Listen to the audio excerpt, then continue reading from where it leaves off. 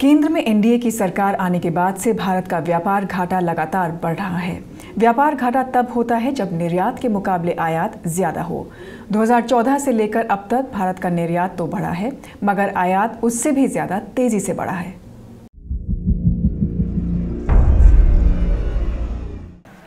दूसरे देशों से व्यापार के दौरान आयात और निर्यात के बीच के फ़र्क को ट्रेड बैलेंस कहा जाता है। लेकिन अगर आयात ज़्यादा हो और निर्यात कम हो तो उसे व्यापार घाटा कहा जाता है। यानी अगर हमने सौ रुपये का निर्यात किया और एक सौ का आयात किया तो हमारा व्यापार घाटा पचास रुपये का होगा। जब तक आयात के मुकाबले निर्यात नहीं बढ़ेगा, तब तक हम व्यापारिक रूप से इंडिपेंडेंट नहीं कहलाएँगे। साल 2014-15 में हमारा व्यापार घाटा एक बिलियन डॉलर पर था, जो साल 2015-16 में कम होकर 118.7 बिलियन डॉलर पर आ गया। साल 2016-17 में इसमें और कमी आई और ये 108.5 बिलियन डॉलर तक आ गया। लेकिन साल 2017-18 में इसमें ज़बरदस्त बढ़ोतरी हुई और व्यापार घाटा एक बिलियन डॉलर पर पहुँच गया।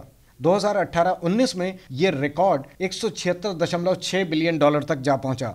हाल ही में सरकार ने लोकसभा में ऐसे कई देशों की लिस्ट रखी जिनसे हमारा व्यापार पहले फ़ायदे में था जो अब घाटे में बदल गया है। यानी इन देशों को हमारा निर्यात कम हुआ है और आयात बढ़ गया है। मसलन हांगकांग के साथ हमारा व्यापार 2016-17 में 5,843 मिलियन डॉलर के फ़ायदे में था जो 2018-19 में चार मिलियन डॉलर के घाटे में बदल गया। मैक्सिको के साथ 2016-17 में हमारा व्यापार 516.47 मिलियन डॉलर के फ़ायदे में था जो 2018-19 में 1,735.46 मिलियन डॉलर के घाटे में चला गया। वियतनाम के साथ हमारा व्यापार 3,446 मिलियन डॉलर के फ़ायदे में था जो अब छह मिलियन डॉलर के घाटे में है। इस लिस्ट में कई ऐसे देश भी हैं जिनके साथ हमारा व्यापार घाटा पहले के मुकाबले बढ़ा है। बढ़ते व्यापार घाटे का ही नतीजा है कि करंट अकाउंट घाटा भी इन पाँच साल में तेज़ी से बढ़ा है। जो साल 2014 में ढाई बिलियन डॉलर पर था, अब पाँच साल बाद यह तीन गुना से भी ज़्यादा, यानी पंद्रह बिलियन डॉलर पार कर चुका है।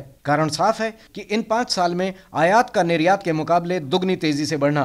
पाँच साल में निर्यात दो दशमलव दो प्रतिशत की सी से बढ़ा है तो आयात चार दशमलव दो प्रतिशत की सी से बढ़ा है।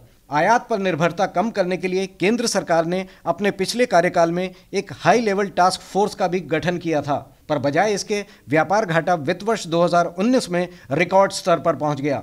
मेक इन इंडिया जैसी मुहिमें भी निर्यात को बढ़ाने में कामयाब नहीं हो पाई हैं। Israr Ahmed Sheikh Go News